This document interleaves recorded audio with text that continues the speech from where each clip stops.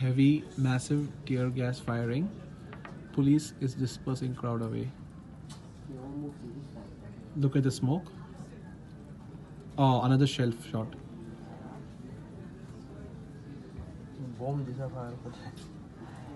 Oh my god. Oh, too much. Oh my god. Oh my god.